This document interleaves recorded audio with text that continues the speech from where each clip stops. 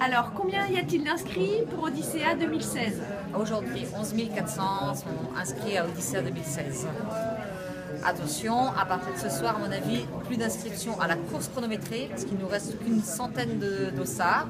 Par contre, on peut toujours s'inscrire à la marche euh, et puis en course à l'heure libre euh, jusqu'au jour J. Voilà.